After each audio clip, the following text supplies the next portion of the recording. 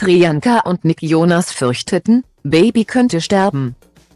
Priyanka Chopra, 40, und Nick Jonas, 30, rechneten mit dem Schlimmsten. Im Januar 2022 wurden die Schauspielerin und der Musiker zum ersten Mal Eltern und hießen per Leihmutter ihre Tochter Malti willkommen. Die Kleine wurde allerdings extrem früh geboren und musste über 100 Tage auf der neugeborenen Intensivstation verbringen. Nun sprach Priyanka offen darüber, wie sehr die Zeit, als die Zukunft ihres Babys ungewiss war, ihr und Nick zu schaffen gemacht hat.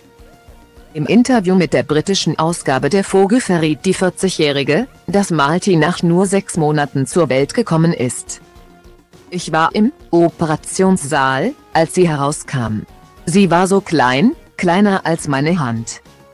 Erinnerte sich Priyanka an die Entbindung und lobte vor allem die Arbeit der Ärzte, ich weiß nicht, wie sie überhaupt gefunden haben, was sie, in ihrem winzigen Körper, brauchten um sie zu intubieren. Sie und Nick hatten dabei schon befürchtet, dass sie es nicht schaffen würde. Nach dieser sorgenvollen Zeit kann Priyanka auch jetzt noch nicht ganz durchatmen.